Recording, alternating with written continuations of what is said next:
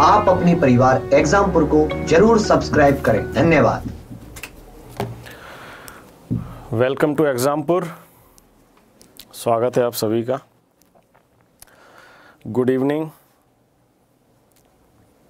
Good evening good evening. Sunil Kumar बोल रहे हैं कि दो आवर की क्लास होनी चाहिए। सुनील कुमार, आपकी बात मानी जाएगी। सुनील कुमार, आपकी बात मानी जाएगी। चलिए, आ जाइए, एक मिनट और, फिर स्टार्ट करें क्लास।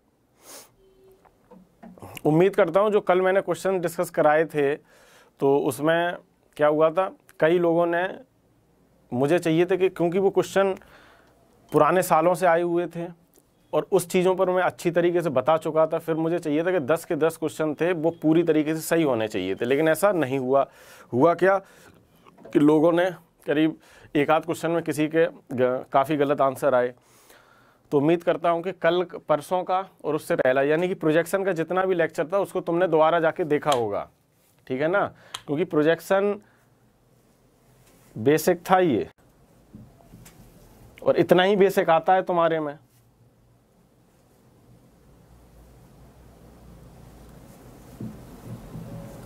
आ जाओ आ जाओ।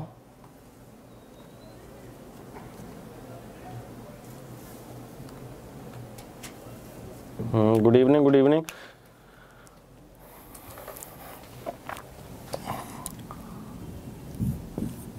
तो आज जो तुम्हारा टॉपिक स्टार्ट होगा, अब देखो प्रोजेक्शन जब मैंने सबसे पहला इंट्रोडक्शन तुम्हारा प्रोजेक्शन का कराया था तो क्या था? चीज़ें बहुत सरल थी, ठीक है? फिर क्या हुआ? प्रोजेक्शन ऑफ़ पॉइंट में देखा तो तुमने कहा, अरे, बड़ा सरल है। फिर प्रोजेक्शन ऑफ़ लाइन देखा, तुमने कहा शुरुआत में सरल है, कुछ टॉपिक थोड़े डिफ़िकल्ट हो गए थे। डिफिकल्टी कुछ नहीं है रूल तो वही हैं जो थे। क्या रूल थे? दो तीन वही रूल थे कि पहले मार्क कर लो, फिर रोटेट कर दो, फिर मास्टर डायग्राम बना लो, बस यही रूल था। दिमाग का खेल क्या था? तुमको सोचना था विजुलाइज कराना था। हो सकता है मैं तुम्हें ठीक से विजुलाइज नहीं करा पाया, ये मैं मानता हूँ, हो सकता है, क्योंकि थ्री डायग्राम थोड़ा डिफ़िकल्ट होता है और थोड़ा टाइम लगता है उसे बोर्ड में बनाने के लिए। इसलिए मैंने वो कोशिश नहीं की। हालाँकि तुम्हें बताया, दस बार समझा के बताया, लेकिन फिर भी उम्मीद करता हूँ जब तुम उस वीडियो को बार बार देखोगे, अगर नहीं समझ में आता है तो तो तुम्हें चीज़ें क्लियर हो जाएँगी, ठीक है? गुड इवनिंग अब मैं स्टार्ट कर रहा हूँ। अगला तुम्हारा क्या है? आज क्या स्टार्ट होगा? Projection of plane projection of plane यानी कि किसी समतल का प्रक्षेप। समझ रहे हो? कब तक सिलेबस होगा? ये किसने पूछा? नाम ज़रूर लेंगे। सुमन कुंदू सुमन कुंदू ने पूछा है कि कब तक होगा सिलेबस मैंने क्या कहा था? सिलेबस तुम्हारा समय से इतना पहले हो जाएगा कि तुम्हें इतना टाइम मिलेगा क्वेश्चंस करने के, फिर उसके बाद में क्वेश्चन क्वेश्चन डेली सेशन लगा करेगा फिर सिर्फ़ क्वेश्चन का। तुम लोग फालतू में परेशान होते हो, एकदम फालतू में। मैं प्रोजेक्शन टॉपिक ऐसा है, मुझे स्लो स्लो चलना पड़ेगा। दो दो घंटे। अच्छा कल मैंने क्योंकि मैं तुम लोगों के कमेंट्स ज़रूर पढ़ता हूँ तो उससे मुझे पता लगता है कि किसी को क्या कोई किसी का डाउट तो नहीं रह गया किसी का कुछ रह तो नहीं गया। तो जब मैंने वो कमेंट्स पढ़े तो उसमें एक चीज़ निकल के आई। किसी ने ये कहा कि सर ये जो आपने क्वेश्चन कराए थे मुझे नाम नहीं पता क्या, किसने कहा ये? उन्होंने कहा जो आपने क्वेश्चन कराए थे ये बहुत सरल थे ठीक है? उनके हिसाब से जिन्होंने ये बोला लेकिन सर ऐसे क्वेश्चन नहीं आ सकते सी बी टी टू में। तो भाई मैं तुमसे ये कहूँगा, बहुत आदर के साथ तुम्हें ये चीज़ बिल्कुल बताना चाहूँगा कि तुम्हारा एग्ज़ाम जो A L P C B T two है ना, इसी में तो आएगी engineer drawing A L P का एग्ज़ाम है तो तुम्हें क्या लगता है तुम्हारा एग्ज़ाम बहुत हाई फाई लेवल का है? सिर्फ़ दो लेवल हैं इसमें इंजीनियरिंग ड्राइंग में, एक इंजीनियरिंग सर्विसेज़ का लेवल, यानी कि यूपीएससी दूसरा ये वाला। ये जो क्वेश्चन थे, ये ए के क्वेश्चन नहीं थे, ये क्वेश्चन थे DMRC LMRC DRDO RRB senior section engineer RRB junior engineer ऐसे ऐसे पेपरों सेल यानी स्टील अथॉरिटी ऑफ़ मतलब इंडिया लिमिटेड सेल ठीक है ना? ऐसे, ऐसे ये सब पी हैं। क्या पीएसयू सेल मतलब बड़ी बड़ी कंपनीज़ हैं। वहाँ उनके पेपरों में ये क्वेश्चन आए थे। तो इतना तो भरोसा करो कि उनका जो लेवल है, वो ए से ऊपर का है तो वहाँ टफ आएगा। अब सोचो, जब तुम वो क्वेश्चन कर ले रहे हो तो सरल वाले क्यों नहीं कर पाओगे? तो ये उनके लिए था, जो ये, जिन्हें ये भरोसा नहीं हो रहा था कि इतने सरल क्वेश्चन आएँगे। ठीक है? भरोसा करो, क्वेश्चन ऐसे ही आते हैं। अगर इसमें कठिन क्या करेगा? कठिन करेगा तो वो बनवाएगा तुमसे चीज़ें कंस्ट्रक्शन करा देगा। जब कंस्ट्रक्शन है ही नहीं सिलेबस में ऑब्जेक्टिव में क्या कंस्ट्रक्शन कराएगा? चार ऑप्शन में एक टिक मारना है यही कराएगा। ठीक है? इससे ज़्यादा नहीं। अब चलिए आगे बढ़ते हैं। आगे क्या है? Projection of plane projection of line के बाद अब आगे हमारा टॉपिक है प्लेन का, किसी समतल का प्रोजेक्शन सबसे पहले जानते हैं प्लेन क्या होता है। सबसे पहले ये जानना बहुत ज़रूरी है कि प्लेन क्या है। देखो प्लेन किसी भी चीज़ का समतल, किसी भी चीज़ का, और ज़रूरी नहीं प्लेन का एक ही आकार हो। समतल का मतलब है जब उसको हम काट के, मान लो ये डस्टर है, इसका अगर मैं इसका बेस क्या है? ये है ना इसका बेस इसका प्लेन करेंगे तो इसको काट देंगे. इट मीन्स काट के नीचे का हिस्सा निकाल लेंगे. इसका ये नीचे वाला.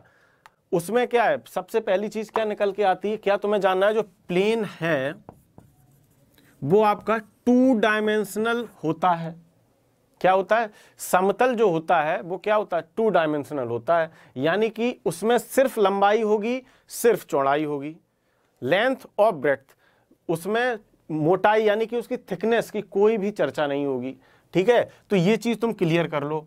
चाहे अब ये डस्टर है, पूरे डस्टर को लोगे तो इसमें लंबाई, चौड़ाई, लंबाई और चौड़ाई और इसकी थिकनेस यानी कि ऊंचाई, ठीक है? अगर इसकी देखो तो ये तीन तीन क्वांटिटी यहाँ पर आ गई तो ये तो क्या ये थ्री डायमेंशनल हो गया फिर।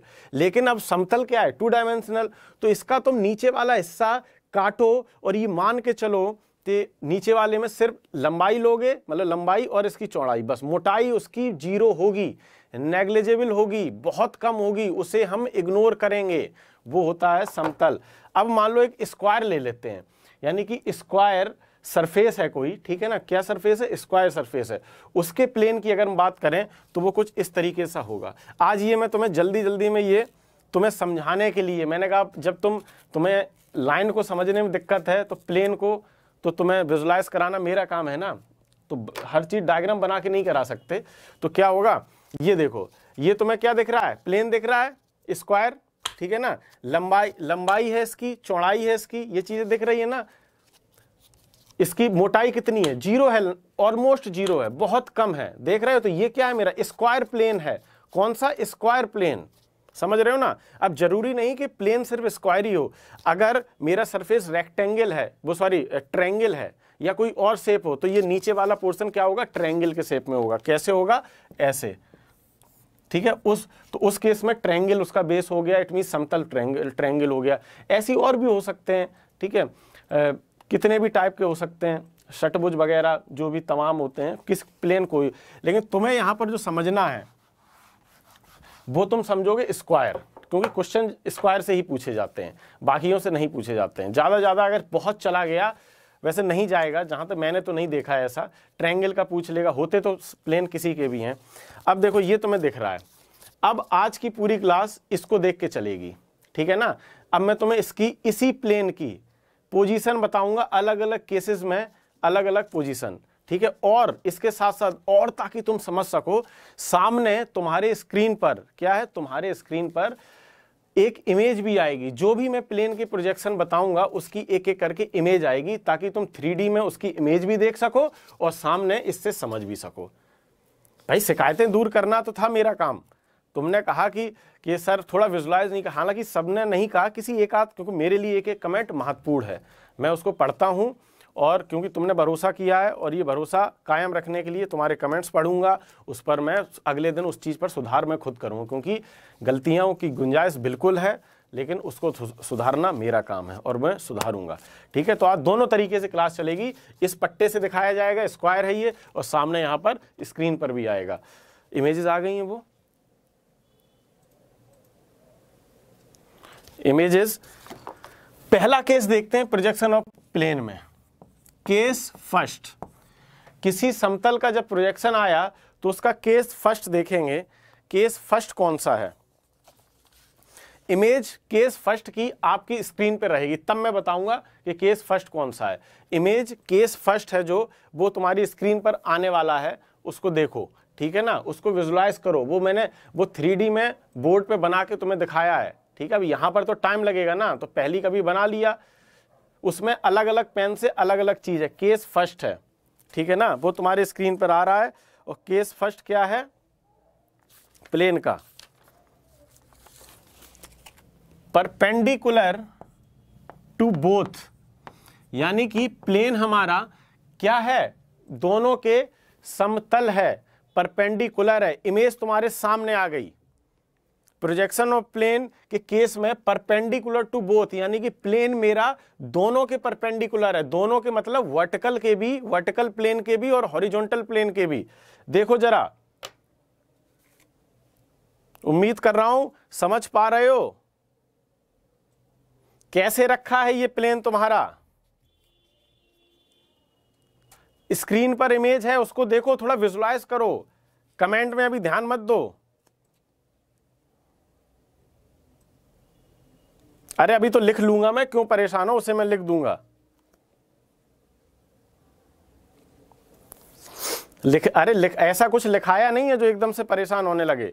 स्क्रीन में देखो बोथ परपेंडिकुलर वाला केस कैसे लगा है? अब इसको समझो। एक स्क्रीन में तुम्हारा डायग्राम बना हुआ है। देखो, इसको समझो। ये क्या है तुम्हारा? प्लेन है। दिख रहा है? प्लेन स्क्वायर प्लेन है ये। सामने वाला जो बोर्ड है, वो क्या है? वर्टिकल जो सामने वाला बोर्ड है, ये क्या है? वर्टिकल प्लेन ठीक है? और मेरा हाथ क्या है? हॉरिजॉन्टल प्लेन ये समतल किस किस तरीके से अरेंज है? कुछ ऐसे। पोजीशन देख रहे हो? कुछ ऐसे। ऐसे। समझ रहे हो? कि मतलब इसके भी वर्टिकल और इसके, वो इसके भी परपेंडिकुलर और इसके भी परपेंडिकुलर समझ गए सर, बिल्कुल सही। समझ गए ना? अब देखो मार्किंग बहुत ज़रूरी है। ये फिगर तुम्हारे सामने रहेगा, ठीक है ना? अभी भी रहेगा। मैं इसको नहीं अभी अभी हटवाऊँगा। मैं अब इसको साइड में तुम्हारे लिखूँगा, ताकि तुम्हें मेरा लिखा हुआ भी आए, ठीक है?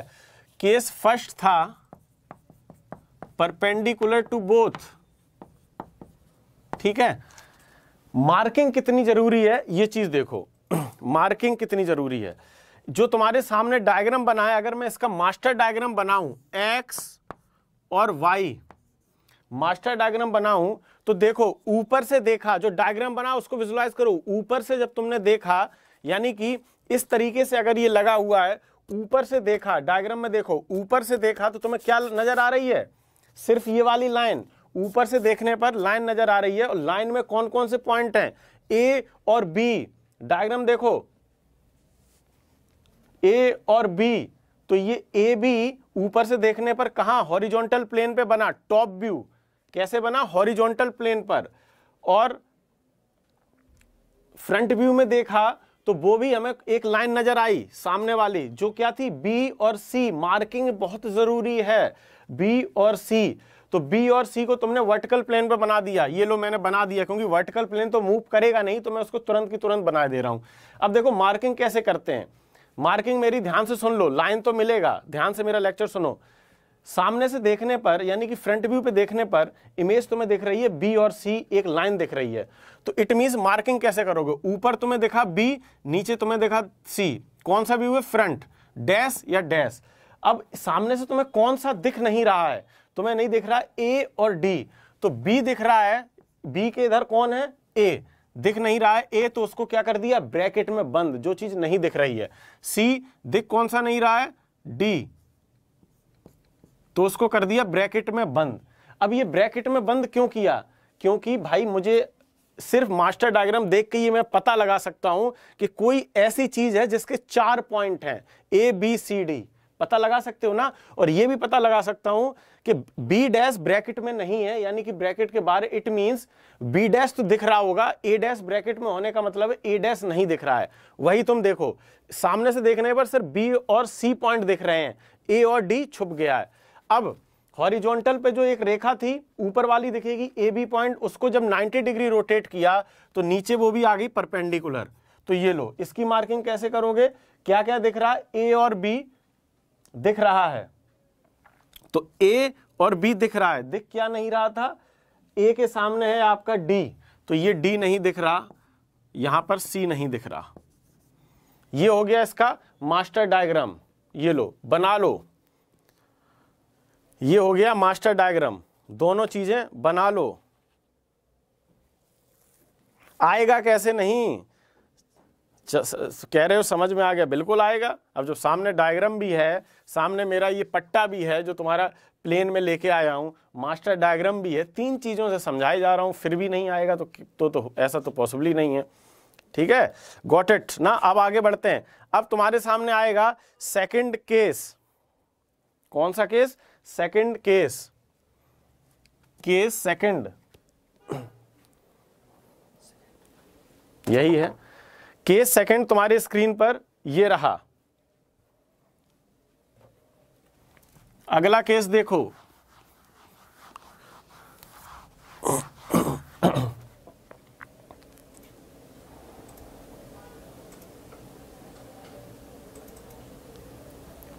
सेकंड केस आ गया। ये सेकंड केस केस कौन सा है? ये है, परपेंडिकुलर केस टू है आपका। Perpendicular to VP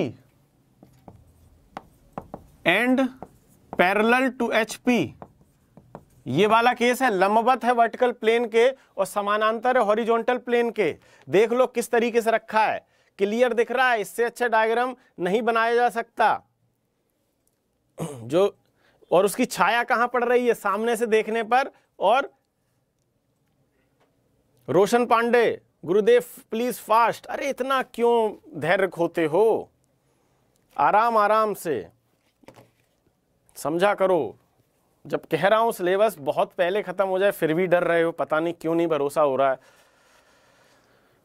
अब इसका मास्टर डायग्राम अगर हम बनाएँ और फिगर तुम्हारे सामने है मास्टर डायग्राम अगर मैं बनाऊँ तो देखो इसको फ्रंट व्यू में जब मैंने देखा इस पोजीशन को सामने देखो तो, तो हमें क्या दिख रहा है? एक लाइन ठीक है ना? जो कि बन रहेगी वर्टिकल प्लेन पर।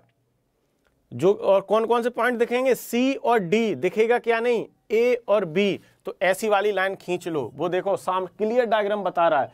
पॉइंट की मार्किंग कैसे करोगे? दिख रहा है डी डैश और ये सी डैश नहीं दिख रहा है। डी के सामने कौन सा है? ए नहीं दिख रहा है ए डैश उसे कर दो ब्रैकेट में। सी के बाद नहीं दिख रहा है बी डैश बी डैश को कर दो ब्रैकेट में। वर्टिकल प्लेन तो मूव करेगा नहीं तो मैंने इसको बना लिया। अब ऊपर से देखो, ऊपर से मुझे क्या दिख रहा है? पूरा का पूरा प्लेन नज़र आएगा। कहाँ पर? टॉप व्यू में। फिर उसको मैं हॉरिजॉन्टल को 90 डिग्री रोटेट करूँगा। इट मींस ये कुछ इस तरीके से आ गया। कुछ इस तरीके से आ गया और पॉइंट की मार्किंग होगी ए बी सी और डी देखो, बना लो इसको, ये मास्टर डायग्राम है, क्लियर चीज़ें विजुअल हैं। कैसे रखा हुआ है प्लेन? ये देखो, इस तरीके से रखा है, अगर तुम देख सकते हो ये पट्टे को, इस तरीके से रखा है प्लेन। इसके पैरेलल है, इसके परपेंडिकुलर, उस केस में चीज़ें हैं।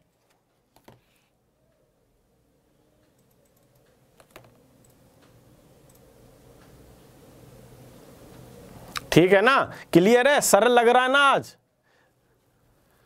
अब सरल लग रहा होगा।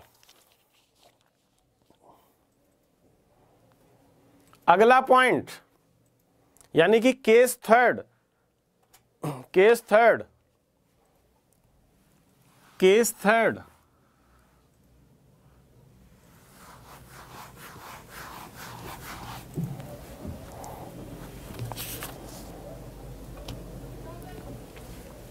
case third कौन सा है? आ गया तुम्हारी स्क्रीन पर। केस थर्ड है तुम्हारा केस थ्री आ गया perpendicular to VP and inclined to H HP inclined to HP यानी कि लंबवत है वर्टिकल प्लेन के और एचपी से एंगल बना रहा है। कंडीशन देख लो। ये देखो थीटा जो इमेज में देखो, जो तुम्हारे कंप्यूटर स्क्रीन पर है, उसमें देखो। ये जो सी पॉइंट पर तुम्हें थीटा एंगल दिख रहा है ना, ये एंगल किससे बन रहा है? हॉरिजॉन्टल से बनता हुआ दिखाई दे रहा है।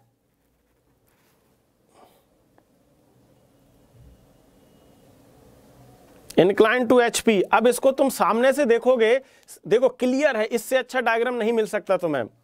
ठीक है, अगर तुम इसे सामने से देखो, तुम्हें क्या नज़र आ रहा है? एक इंक्लाइंड लाइन यानी कि थीटा एंगल के साथ एक रेखा नज़र आएगी। ठीक है, अब इसका मास्टर डायग्राम बनाओ। एक्स और वाई तो क्या नज़र आ रहा है? एक इंक्लाइंड के साथ तुम्हें एक लाइन नज़र आ रही है, ऐसी। जो कि एक एंगल पे है, थीटा। तो उस लाइन को अगर मार्किंग दें हम तो सी और डी पॉइंट दिख रहा है। यानी कि सी इधर है और डी इधर है। दिख क्या नहीं रहा? सी के सामने है बी तो बी ब्रैकेट में कर लो, नहीं दिख रहा। यहाँ पर ए ब्रैकेट में कर लो, नहीं दिख रहा। बन गया? और ऊपर से देखने पर क्या नज़र आएगा? ऊपर से देखने पर क्या नज़र आएगा?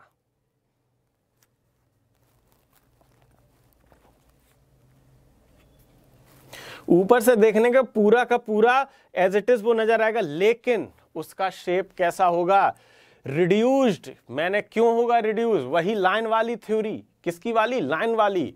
क्या करते थे? जहाँ से एंगल नहीं नज़र आ रहा है इट मींस वहाँ से और एंगल बना हुआ है। यहाँ तो क्या? हॉरिजॉन्टल से एंगल बना रहा था ये प्लेन हाथ देखो मेरा दोबारा से एक बार, अगर ऐसे देखना, कुछ इस तरीके से रखी है चीज़। मेरे हाथ से एंगल बनाया है उसने और यहाँ से परपेंडिकुलर है। तो यहाँ से एंगल बना है ठीक है ना, इस जगह से। ये देखो, इस जगह से एंगल बना है और इसके है परपेंडिकुलर। दोनों चीज़ें देखो, पट्टा और ये। तो अब क्या है?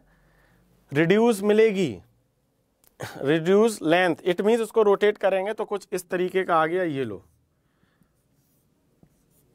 इसको मार्किंग अगर मैं दूँ तो क्या होगा? ए बी ऊपर होगा। ए बी इधर होगा सी इधर होगा डी ठीक है।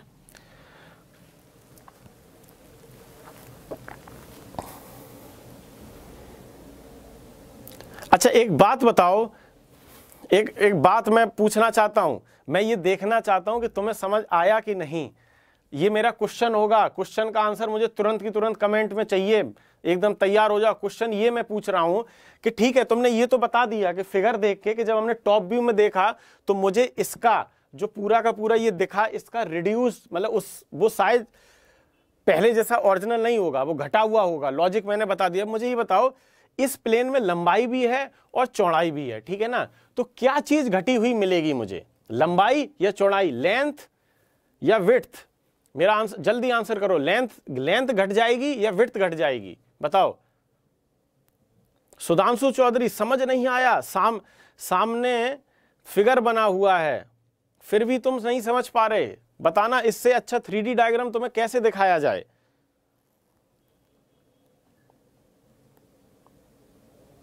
हाँ तो स्क्रीनशॉट ले लो। हमने कम मना किया। बिल्कुल ले लो इस डायग्राम का स्क्रीनशॉट स्क्रीनशॉट ले लो। वीडियो को दस बार देखो। कोई वो तो वो तो प्ले लिस्ट में है।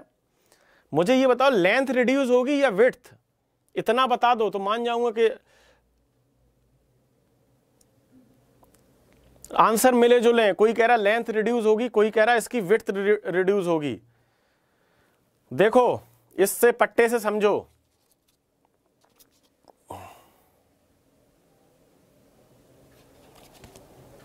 यहाँ पर ये जो जिस तरीके से तुम्हारा डायग्राम है तो जो एंगल कुछ ऐसे बन रहा है, देखो इधर समझ लो। एंगल इधर से बना रहा है, मेरा हाथ यहाँ से एंगल बना रहा है, यहाँ से। तो ऊपर से देखा तो अगर एक पॉइंट ये ज्वाइन करेंगे, एक पॉइंट ये ज्वाइन करेंगे इट मीन्स ये वाली चीज़। भाई, यहाँ से इसकी लेंथ तो ये वाली है ना, ये।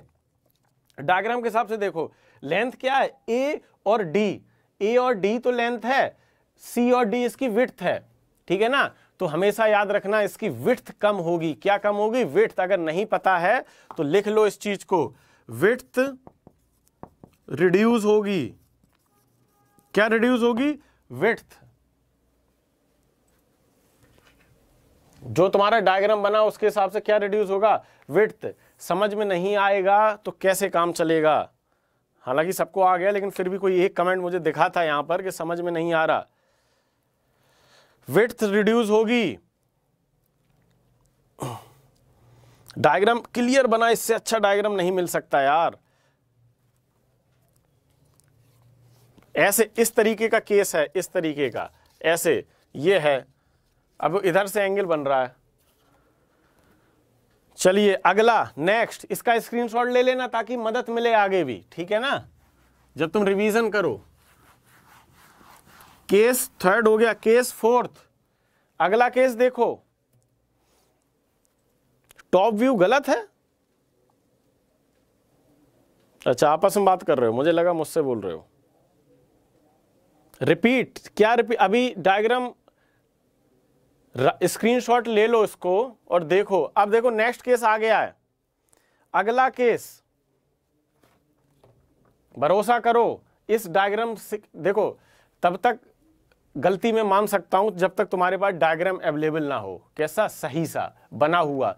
तब तक मैं सोच सकता हूँ विजुलाइज नहीं कर पा रहे हो होता है।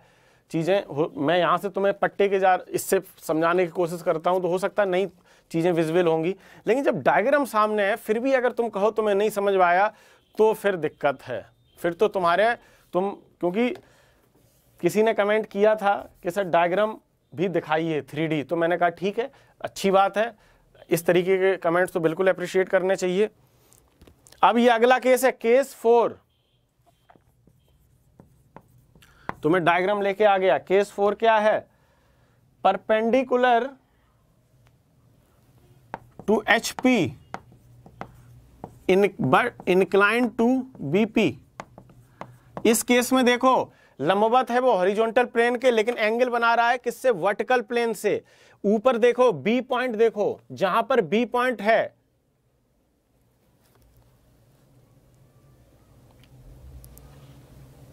बी पॉइंट पे नज़र डालो सारे लोग। बी पॉइंट देखो इसका। वहाँ पर एक एंगल दिख रहा है। वो एंगल किससे बना हुआ है? वर्टिकल प्लेन से।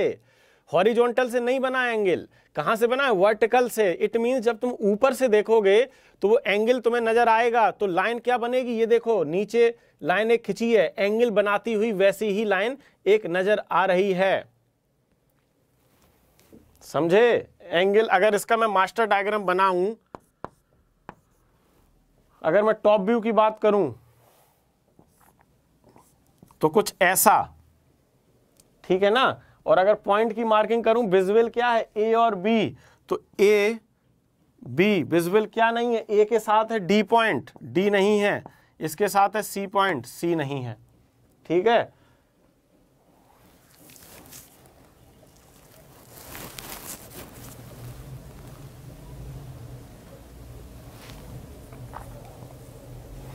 क्या पूछ रहे हो? क्या बता दूँ?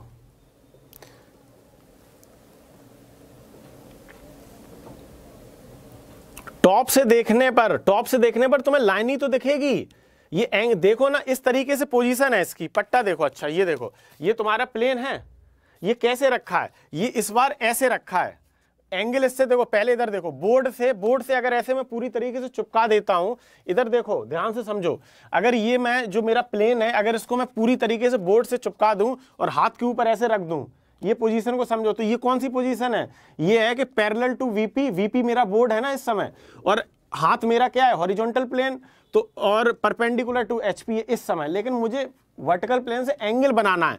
तो मैंने क्या किया? एंगल बनवाने के लिए क्या किया? ये लो, ऐसे कर दिया। अब मैंने इसको बोर्ड से थोड़ा सा हटा लिया, लेकिन हॉरिजॉन्टल से ये अभी भी चुपका हुआ है। बोर्ड से हटा लिया इट मीन एंगल इसका इधर से बना, अंदर से। समझो, इधर से एंगल बना। ये देखो, ये एंगल इस पोजीशन में है। ऊपर से देखोगे तो ये लाइन नज़र आएगी ऊपर वाली, जो कि वीपी से एंगल बना रही है, जो मैंने यहाँ ड्रॉ कर दी। सामने से देखोगे तो पूरा का पूरा तुम्हें वो नज़र आएगा, लेकिन रिड्यूस साइज़ का। अगर इसको मैं पूरा का पूरा बनाऊँ तो क्या क्या पॉइंट नज़र आया? A B C D A dash B dash C dash D dash. ये होगा। ले लो स्क्रीनशॉट।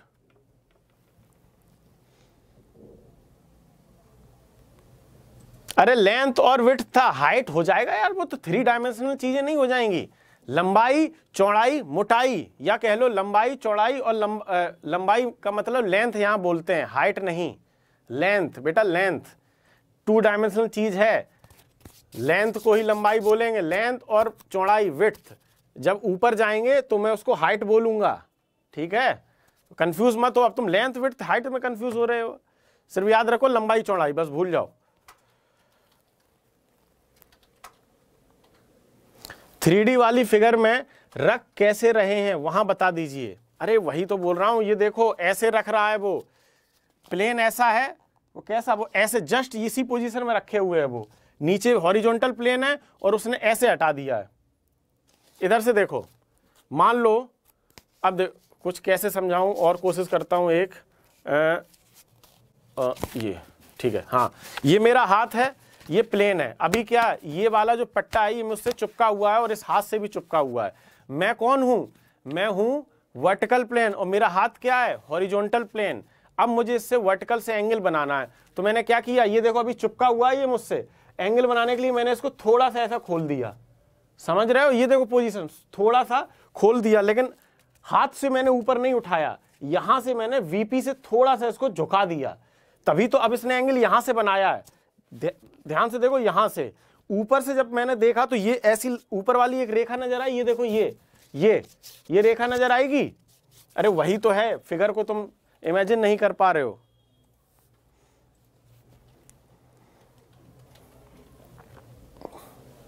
अगर तुम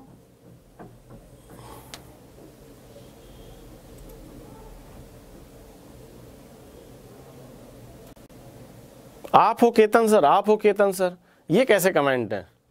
क्यों, पहली बार देख रहे हो क्या? आप केतन सर हैं? अरे भाई, चार पाँच कमेंट ऐसे आ गए कि आप हो केतन सर, क्या हुआ? सरप्राइज़ हो, इससे पहले कोई और आ रहा था पढ़ाने, क्या? मैं ही तो पढ़ा रहा था। बोर्ड पर, अरे यार, ये बोर्ड पर ही डायग्राम बना हुआ है। क्यों नहीं इस चीज़ को समझ रहे? बोर्ड पर अगर थ्री डी डायमें थ्री डायमेंशन में थोड़ा टाइम लगता है यार बनाने में उसको। अब मैं उसी को उसी पे टाइम वेस्ट करता रहूँ, क्या मतलब? इसलिए मैं पहले बना के ले आया। बीस इसका स्क्रीनशॉट लो। अरे यार, इस पट्टे को ऐसे करके इमेजिन करो ना, एक ऐसा रखा है। क्यों दिक्कत आ रही है? सर, क्लियर है नेक्स्ट अब तो नेक्स्ट है नहीं। ये थे चार केस किसके थे? प्लेन के. अभी ये डायग्राम बना रहेगा और मैं आगे बात, चर्चा स्टार्ट करूँगा। जिसको स्क्रीनशॉट लेना हो, ले लो, आसानी से देख लो, ऊपर से क्या दिख रहा है, और इसका रेफरेंस डायग्राम ये ये बना सामने। रेफरेंस डायग्राम ये सामने है। अब आगे बढ़ते हैं। ठीक है, ये अभी बना रहेगा, जब मैं बताऊँगा तब ये जाएगा।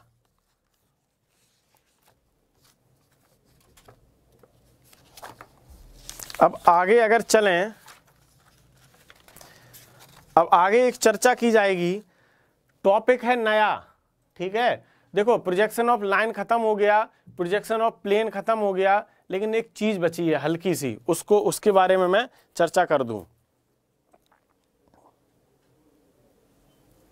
चलो, अब ये डायग्राम चला जाएगा और हम आगे बढ़ते हैं।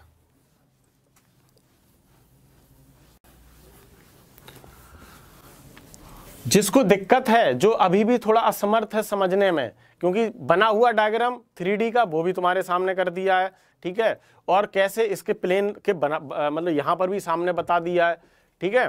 तो इसको तुम क्या करोगे? स्क्रीनशॉट ले लोगे और घर पर जाके एक एक्सपेरिमेंट करना। सुनो, वो तुम्हारे लिए बता रहा हूँ जिसको समझ नहीं आई ये चीज़। घर पर जाके इस तरीके का कोई प्लेन स्क्वायर काट लेना, जो मैंने जैसे ले लिया है, फिर उसको रजिस्टर में रखना, ठीक है? रजिस्टर में रजिस्टर का ये वाला पोर्शन वीपी मान लेना और नीचे वाले को एचपी मान लेना। फिर उसमें अपने प्लेन की पोजीशन रखना कि ऐसे वर्टिकल पे होगा हॉरिजॉन्टल पे रखेंगे इंक्लाइंड कर दो, ये सब चारों केस उसको करना, फिर ऊपर से देखना और सामने से देखना, फिर ज़्यादा क्लियर होगा। एक बार खुद भी एक्सपेरिमेंट कर लेना घर पे जाके, ठीक है ना? और याद रखो, अगर तुम्हें इसमें कंफ्यूजन है कि हाइट रिड्यूस है या विर्थ तो एक, तुम सिर्फ़ इतना याद रखो कि उसका शेप घटा हुआ आता है, बस, बहुत है, ठीक है ना? जहाँ तुम कंफ्यूजन क्रिएट हो रहा है ना तुम्हें, कि अरे हाइट कैसे, वो कैसे? जब बोला विथ होगी, कैसे होगी, वो तुम्हें बताया भी। तो तुम सिर्फ़ इतना याद रखो कि रिड्यूस मिलेगी। अब देखो, इसमें क्वेश्चन कैसे बनते हैं प्रोजेक्शन ऑफ़ प्लेन में? चार केस है। इसमें तुमसे पूछ लेगा, कोई भी केस उठा के कह देगा कि कौन मतलब इस कौन से व्यू में मुझे ओरिजिनल शेप मिलेगी किसमें मुझे रिड्यूस लेंथ मिलेगी किसमें मुझे क्या मिलेगा? तो तुम्हें याद रहना चाहिए कि किस केस में क्या पता लग रहा था। ठीक है? अगर दो तीन बार, मैंने क्या कहा था कि जब मैं ये कहूँ कि घर पे जाके करना इट मीन्स मतलब ज़रूरत है। इसको घर पे जाके करना और कैसे करना है? अपने आप करना है। क्या ऐसे ये चीज़ फाड़ लेना किसी पेज की और रजिस्टर में रख रख के छोटा सा करना ताकि तुम इमेजिन कर पाओ। छोटा सा स्क्वायर ऐसे फाड़ लेना ए बी सी डी की मार्किंग ज़रूर कर लेना। फिर ऐसे ऐसे करके देखना उसमें। ठीक है ना? फिर ऐसे ऐसे करके देखना। अब अगला जो पॉइंट अगला जो नेक्स्ट टॉपिक है,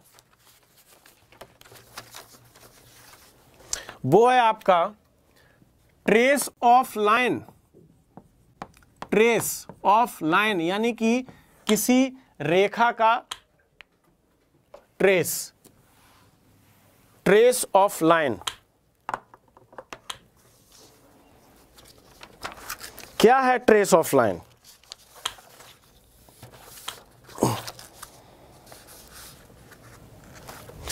ट्रेस का मतलब है, समझो इस टॉपिक को, बहुत हल्का है, दो मिनट का है बाई चांस कभी कुछ पूछ ले इस पे तो कम से कम इतना तो बता सको कि ट्रेस क्या होती है रेखा की, किसी भी रेखा की ट्रेस जैसे कि समझें ट्रेस ऑफ़ लाइन समझने से पहले तो इसकी कहानी सुन लेते हैं ट्रेस क्या है।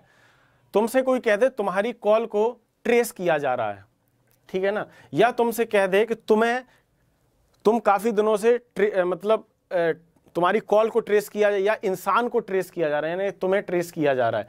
ट्रेस का क्या मतलब है? फॉलो किया जा रहा है, उस पर निगरानी रखी जा रही है। यही तो बोलोगे, ठीक है ना? उसको फॉलो किया जा रहा है। अगर मैं कहूँ, मेरे पास ये पानी की बोतल है, इसके अंदर पानी है, ठीक है?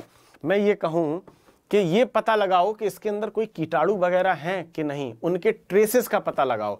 ट्रेसेस का मतलब वो कहाँ कहाँ गए थे मतलब उस पूरे पानी में कहाँ कहाँ उसके पॉइंट हैं किसके? कीटाणुओं के। तो वो ट्रेस क्या है? उसको फॉलो करके ही तो चीज़ें पता लगाई जाएँगी। उसके पीछे जाके ही तो पता लगाया जाएगा। तो यही होता है किसी भी रेखा का ट्रेस रेखा का कह लो या किसी प्लेन का कह लो या किसी भी चीज़ का ट्रेस कह लो। यहाँ पर तुम्हारे क्या मतलब है इसमें? अगर तुमसे पूछे कोई ट्रेस क्या है तो देखो, मान लो ये वीपी है, ये एचपी है। ठीक है? ट्रेस कैसे होगा? अगर मैं कह दूँ कि, कि एक रेखा बनी हुई है इसको थोड़ा थ्री डायमेंशनल बनाते हैं। ये है मान लो ठीक है? तो एक लाइन है जो मैंने अभी ऐसे बना दी ठीक है? ए और बी ये लाइन इस समय किस पोजीशन में है? इमेजिन करो ये लाइन है पैरेलल टू बोथ वाली पोजीशन में ठीक है? किसके? पैरेलल टू बोथ यानी कि समानांतर ये वीपी से भी है और हॉरिजॉन्टल प्लेन से भी है, ये पोजीशन में। इस पोजीशन में तुमसे कह दूँ, इस रेखा का ट्रेस बता दो मुझे। तो यार ट्रेस कैसे बता सकते हो? ट्रेस कैसे बताओगे? ट्रेस क्या होता है? इधर देखो ट्रेस को समझने के लिए तुम्हें एक पहले यह चीज़ जाननी ज़रूरी है कि किसी भी रेखा का ट्रेस आप तभी दे सकते हो तो जब वो चीज़ उसके कांटेक्ट में हो। मान लो, ये देखो, ये मेरा हाथ है। क्लियर है, ऊपर है मार्कर। पैरेलल क्या होता है? सबसे पहले समझो समानांतर क्या होता है? समानांतर का मतलब एक ये लाइन है, एक ये लाइन है तो ये लाइन, ये दोनों आपस में क्या है? पैरेलल है। अगर मैं कह दूँ, एक ये लाइन है और एक ये लाइन है। दो लाइनें मैंने बना दी। क्या ये दोनों लाइन आपस में पैरेलल हैं? नहीं, तुम कहोगे, नहीं, ये तो इंटरसेक्ट कर गई। पहले तो बेसिक समझो इसको, यहीं से तुम्हारा ट्रेस निकलेगा। तुम कहोगे, नहीं, ये तो इसको इंटरसेक्ट कर गई। इट मींस ये पैरेलल नहीं है। पैरेलल का मतलब है साथ साथ चलेंगी, लेकिन आपस में टकराएँगी नहीं। समझ रहे हो ना? साथ साथ चलेंगी, लेकिन आपस में टकराएँगी नहीं। तो वही चीज़ है। अगर जब एक चीज़ किसी के दूसरे चीज़ के पैरेलल है, अब यहाँ पर रेखा अगर हॉरिजॉन्टल के पैरेलल है ऐसी ठीक है ना? तो इसका ट्रेस हॉरिजॉन्टल पे मिल ही नहीं सकता। क्यों नहीं मिल सकता? क्योंकि यार, वो तो उससे कभी टकराएगी नहीं ना। पैरेलल का मतलब है, भले उसके साथ साथ चलती रहे, लेकिन कभी टकराएगी नहीं। लेकिन अगर मैं कह दूँ कि तो बताओ ट्रेस किस मतलब किस उस पर मिलेगा ट्रेस फिर कैसे मिलेगा? तो मैं कहूँगा, अगर मैं ये कहूँ कि ये जो रेखा है, ये एंगल बना रही है किससे? हॉरिजॉन्टल से। कितना? थीटा का तो मैं कहूँगा, अब बताओ, इस रेखा का ट्रेस हॉरिजॉन्टल पे होगा, तब मैं कहूँगा बिल्कुल होगा। क्योंकि एंगल बना रही है, कैसे होगा? मान लो, ये यहाँ पर है। सोचो, मेरे हाथ से टच में है ना अब तो ये। एंगल का मतलब यही तो है, ऐसे बना है, मेरे हाथ से एंगल बना है ना तो ये टच में है। अब क्या हुआ, ये पूरा हॉरिजॉन्टल प्लेन है। मान लो ये देखो, ये पट्टा है, ये हॉरिजॉन्टल प्लेन है पूरा। इसके ऊपर ये मार्कर रखा हुआ है। इट मीन मार्कर एंगल बनाए हुए हैं इससे। बनाए हैं कि नहीं बनाए अगर मैं इसको ऊपर कर दूँ, जैसे क्वेश्चन आता है कि हॉरिजॉन्टल प्लेन से तुम्हारी लाइन 20 सेंटीमीटर ऊपर है। समझो 20 एम mm या 20 सेंटीमीटर ऊपर है तो तुम इससे ऊपर यहाँ पर ड्रॉ करोगे। और उस ऊपर पे उसने एंगल बनाया इस तरीके से। कुछ ऐसे प्लेस है। मैं कहूँ, बताओ, इस वाली रेखा का ट्रेस मिलेगा हॉरिजॉन्टल तुम कहोगे, बिल्कुल मिलेगा। कैसे? मैं तो कहूँगा टच तो है ही नहीं इससे। ये तो इसके ऊपर है। फिर भी एंगल बना रही है कुछ इस तरीके का। तो मैं ये बोलूँगा कि ठीक है, ये नीचे है ना 20 सेंटीमीटर तो तुम क्या करोगे? ये जो इस रेखा को पीछे एक्सपेंड कर दोगे। ध्यान से समझो। यहाँ पर मान लो ये इसको एक्सपेंड कर दिया, इसको पीछे को तो ये कहीं ना कहीं हॉरिजॉन्टल से टकराएगा पॉइंट जब वो टकराएगा, मान लो, ये देखो, अगर इस तरीके से है, ऐसे एंगल बना रहा है थीटा, अब इसको मैंने इधर ये सोचो 20 सेंटीमीटर ऊपर है तो इसको मैंने एक्सपेंड कर दिया। यहाँ यहाँ पर आके वो हॉरिजॉन्टल से मिल गया। इट मींस यही पॉइंट मेरा कहलाएगा ट्रेस ऑफ़ लाइन किस लाइन की? इस लाइन का। ए और बी लाइन का ट्रेस कहाँ मिला? यहाँ पर मिला। क्यों मिला? क्योंकि वो हॉरिजॉन्टल से इंक्लाइंड था। इट मींस इससे यह भी निकल के आया कि जो रेखा इंक्लाइंड होगी किसी भी प्लेन से, ट्रेस उसी का मिलेगा। मतलब जब तक जब तक उस रेखा का किसी भी प्लेन से एंगल नहीं बनेगा, एंगल कोण नहीं बनेगा, तब तक उस प्लेन पर उसका ट्रेस नहीं मिल सकता।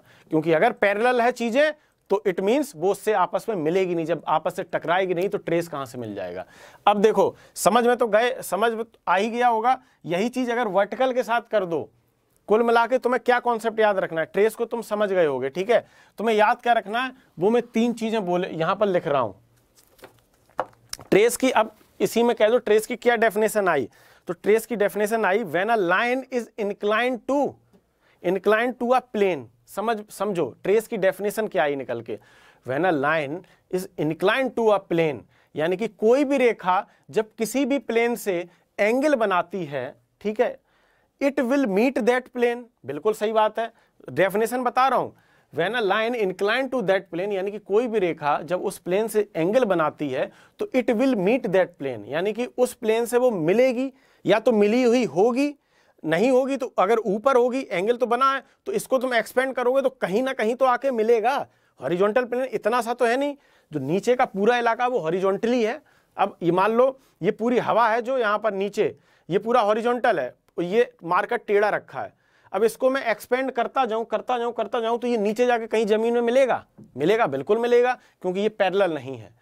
तो क्या क्या एक लाइन में कह सकते हो?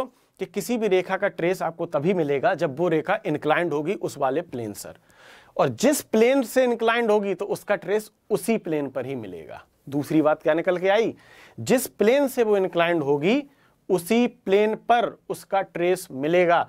अगर वो एंगल हॉरिजॉन्टल से बना रहा है तो उसका ट्रेस भी हॉरिजॉन्टल पे ही मिलेगा। अगर वो एंगल वर्टिकल से बना रहा है तो उसका ट्रेस भी वर्टिकल पे ही मिलेगा। क्यों मिलेगा? क्योंकि मान लो ये रखा है मार्कर, हॉरिजॉन्टल अगर ये है इलाका तो इसको एक्सपेंड करोगे तो बेटा हॉरिजॉन्टली में तो टकराएगी, वर्टिकल में थोड़ा टकरा जाएगी, क्योंकि वर्टिकल से तो पैरेलल है। और जिससे पैरेलल है, वहाँ से मिलेगी नहीं चीज़ें। ट्रेस को समझ गए। अब इसमें याद क्या रखना है? वो मैं तुम्हें दो तीन पॉइंट यहाँ बताता हूँ। पहली चीज़ इसमें याद रखोगे ट्रेस में। पहला पॉइंट, हमेशा याद रखना, अगर क्वेश्चन इसका आंसर करना है तो कि लाइन इनक्लाइंड, यानी कि लाइन इनक्लाइंड होनी चाहिए, यानी कि उस लाइन को कोण बनाना चाहिए, उस प्लेन से, जो भी प्लेन पर हो, तभी उसका ट्रेस मिलेगा। दूसरा चीज़ क्या? क्या इसमें याद रखोगे? पहली चीज़ समझ गए, लाइन इंक्लाइंड होनी चाहिए। ठीक है, ये मस्ट है। अगर इंक्लाइंड नहीं है तो उसमें ट्रेस नहीं होगा। दूसरा, दूसरी लाइन बोल रहा हूँ। मान लो, लिखा है ए लाइन पैरेलल टू इसका आंसर करना जरा। मैं ये पूछ रहा हूँ, ठीक है? सामने क्वेश्चन लिखूँगा, इसका आंसर करो, देखता हूँ ट्रेस समझ में आया कि नहीं। फालतू में एनर्जी ना वेस्ट हो जाए मेरी। A line parallel to H P ठीक है? And and BP line parallel to H P and VP find its trace मतलब कोई भी रेखा समानांतर है हॉरिजॉन्टल और वर्टिकल प्लेन दोनों के। तो बताओ इसका ट्रेस कहाँ पर होगा? जल्दी कमेंट करो।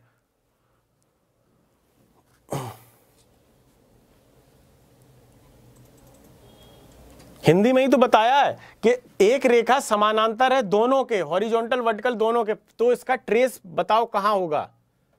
बताओ। देखते हैं समझ आया कि नहीं? इतनी देर से गला फाड़ फाड़ के जो समझा रहे हैं। बहुत सही। मतलब समझ आ गया। मेरी मेहनत सफल हुई। और जब मेहनत सफल होती है तो उसका मज़ा ही अलग होता है। ठीक है? नो ट्रेस धड़ाधड़ आंसर दे दिए सबने। ठीक है? कैन नॉट फाइंड मतलब नो ट्रेस साफ़ सीधा आंसर है. इट मींस इसका आंसर क्या निकला?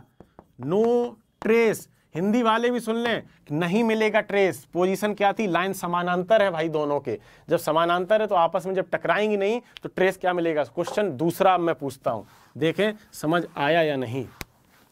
सेकंड पूछ रहा हूँ. लाइन यानी कि रेखा inclined to VP and parallel to HP. Find its trace. जल्दी बताओ, इसका ट्रेस कहाँ पर मिलेगा? हॉरिजॉन्टल पे या वर्टिकल पे? Line incline to VP parallel to HP इसका ट्रेस बताओ। ग्रीस मिश्रा, बच्चों वाला क्वेश्चन नहीं है। अगर बच्चों वाला लग रहा है, अभी ट्रेस नहीं बताया होता तो बच वो तो अब तुम उसका कॉन्सेप्ट समझ गए तो तुम्हें बच्चों वाला लग रहा है। हर चीज़ बच्चे ही वाला लगता है जब चीज़ें समझ आ जाती हैं। क्या करें? एग्ज़ाम में तो ऐसे ही आएगा। पेपर भी तो बच्चों वाला है, ये भी तो देखो। एएलपी कोई बहुत टफ पेपर नहीं होता है। वीपी पर बनेगा, बहुत सही। एक भी गलत आंसर नहीं। बच्चों वाला है, लेकिन फिर भी समझो, गलत नहीं है, अच्छी चीज़ है। Line incline to VP parallel to HP find trace it means inclined किससे है ये? वर्टिकल प्लेन से है। वर्टिकल प्लेन से इंक्लाइंड है। साफ़ सीधी बात है, जहाँ से इंक्लाइंड होगा ट्रेस उसी प्लेन पर मिलेगा। आंसर इसका क्या हो गया? वीपी ये क्वेश्चन पुराने सालों के हैं, ठीक है? ट्रेस से सिर्फ़ यही दो तीन चीज़ें पूछी जाती हैं, इससे ज़्यादा नहीं पूछा जाएगा। समझ गए समझ गए, आ गई बात। रेखा की जगह प्लेन भी दे देगा कभी कभी क्या दे देगा? प्लेन तो याद रखो प्लेन की भी यही कंडीशन है कि भाई अगर प्लेन पैरेलल है तो ट्रेस नहीं होगा उस प्लेन का। अगर प्लेन इंक्लाइंड है तो उसको जब आगे, अगर वो टच में है तो अच्छी बात है, नहीं है टच में तो उसको एक्सपेंड करोगे तुम। क्या करोगे? पीछे को लाओगे। डॉट डॉट डॉट करके तो उसको वो टच हो जाएगी। कॉन्सेप्ट यही लगना है, ठीक है? इसका उल्टा भी कर दो तो भी बात बराबर है। इट मीन्स ये हम कह सकते हैं यहाँ पर कि तुम्हें ट्रे, ट्रेस समझ आ गया है। बच्चों वाली चीज़ें कुछ नहीं होती। एग्ज़ाम को देख के होता है। अभी यूपीएससी का क्वेश्चन अगर यहाँ पर रख दें हम किसका इंजीनियरिंग सर्विसेज़ का? यूपीएससी का आईईएस लेवल वाला जो आईईएस में आता है। वो रख दें तो नहीं होगा। और फिर वो हम तुमसे करवाएँ अगर क्वेश्चन वो तुम कर तो पाओगे नहीं। ऊपर से वो नाइंसाफी भी होगी तुम्हारे साथ कि इतना टफ क्वेश्चन तब बोलोगे, अब ये बहुत बड़े वाले हैं। लेवल देखिए लेवल देखिए। ठीक है? हार्ड लेवल और जो सरल होता है, ये दोनों में अंतर है। एएलपी एग्ज़ाम बहुत सरल लेवल का होता है। मतलब इसमें मैं बेजती नहीं करना, कर रहा हूँ किसी की, मैं रियलिटी बता रहा हूँ, सरल होता है, ठीक है? इस वजह से उसमें क्वेश्चन इसी लेवल के आते हैं। परेशान मत हो। हालाँकि ट्रेस से इतना ज़्यादा आएगा नहीं, लेकिन बाई चांस जो आता है, वो यही आता है। वही दो तीन चीज़ें, इसका ट्रेस कहाँ बनेगा, उसका ट्रेस कहाँ बनेगा। आपको वही चीज़ याद रखना। है प्लीज़ परपेंडिकुलर को समझाएँ। परपेंडिकुलर को क्या समझाएँ? परपेंडिकुलर बताएँ क्या होता है। बफरिंग कर रहा है। क्या हुआ? नेट की दिक्कत है क्या? नहीं, नेट की दिक्कत है।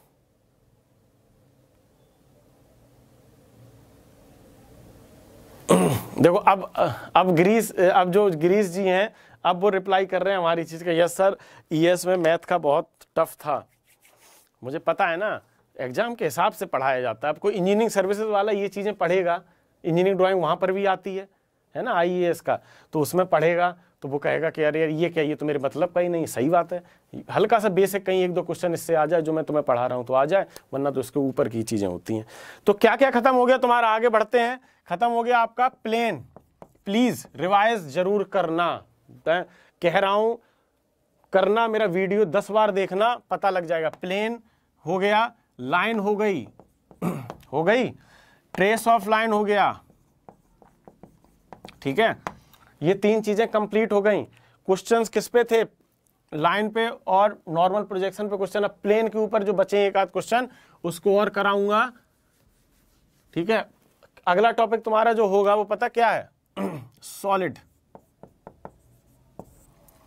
प्रोजेक्शन ऑफ़ सॉलिड सबसे ज़्यादा tough solid projection of solid करने से पहले पहले तो हम ये समझेंगे, यार सॉलिड कितने तरीके के होते हैं? ठोस. हिंदी में बताएँ तो ठोस या पिंड, कुछ भी कह लो, ठोस भी कहते हैं, वो भी कहते हैं तो सॉलिड का प्रोजेक्शन होगा, लेकिन इसकी क्लास पता कब होगी? क्लास समझो यार इसकी कब होगी।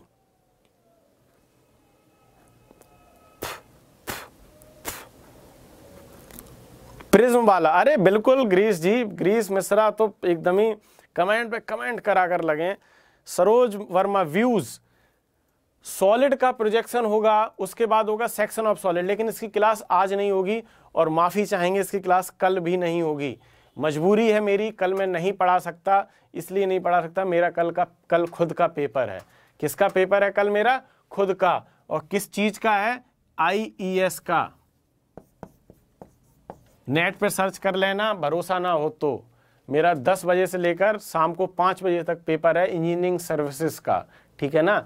यूपीएससी जो एग्ज़ाम कंडक्ट कराता है, उसका मेरा पेपर है तो मुझे माफ़ी चाहेंगे कि कल हम आपको नहीं पढ़ा पाएँगे, सीधे आपकी क्लास होगी परसों, ठीक है? किसके साथ? प्रोजेक्शन ऑफ़ सॉलिड के साथ आपकी परसों क्लास होगी और कुछ क्वेश्चन भी डिस्कस करेंगे प्लेन के ऊपर के, ठीक है? जो भी आते हैं उसको खोज के लाएँगे और फ़िलहाल मेरा पेपर है, कल तो उसके लिए क्षमा चाहेंगे, ठीक है?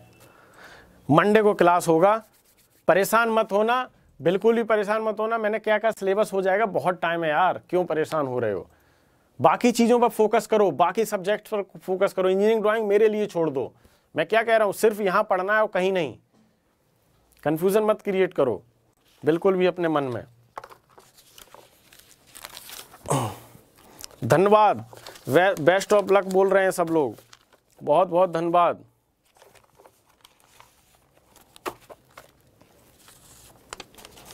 हम खुद भी पढ़ते हैं, ठीक है इंजीनियरिंग सर्विसेज़ यूपीएससी देते हैं हम। तो खुद भी मोटिवेट मोटिवेट रहते हैं आपको भी मोटिवेट करते हैं।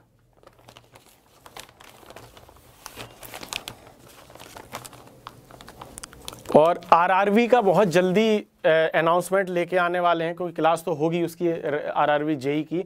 तो अगर इसमें से कुछ आरआरबी जेई के लिए हैं, ठीक है और अगर तुम लोग नहीं हो तो तुम्हारे दोस्त दोस्त हों जो आर आर की तैयारी करना चाहते हैं कंप्लीट कोर्स चलेगा यहाँ पर आर का। खासकर टेक्निकल को तो एकदम पकड़ के चला जाएगा। जो भी सिविल इलेक्ट्रिकल मैकेनिकल जो भी ब्रांचेज हैं, पूरा सिलेबस का, क्योंकि बहुत तगड़ा चेंज किया इस बार आरआरबी ने। तो आप लोग तैयार रहिए, कल या परसों में ही, कल तो नहीं हो पाएगा, परसों या कल देखो शायद सर ही अनाउंस कर दें। तो बहुत जल्दी इसका पूरा टाइम टेबल आपके पास आने वाला है आरआरबी की। कहीं जाने की ज़रूरत नहीं है, मैं सच में कह रहा हूँ, कहीं जाने की ज़रूरत नहीं है, यहाँ खुद एक एक चैप्टर कंप्लीट किया जाएगा फ्री में, ठीक है ना? कहीं जाओगे फ़ीस दोगे, पढ़ाया वही जाएगा, कोई मतलब नहीं बनता उस चीज़ का। थोड़ा भरोसा करिए। मैकेनिकल मैकेनिकल सब चलेगा आरआरबी में। तो या तो आप लोग हो, नहीं तो आप लोगों के जो दोस्त हों, उनको ज़रूर सूचित करें कि आरआरबी यहीं से दे पहले पहले पढ़ो, पहले इस्तेमाल करो, फिर विश्वास करो। ठीक है ना? तो एक आध लेक्चर में इस्तेमाल कर लेना, फिर विश्वास भी हो जाएगा। इतना मुझे खुद पे भरोसा है। ठीक है? चलिए बहुत बहुत धन्यवाद। आपका सोमवार को आपसे मुलाकात होगी।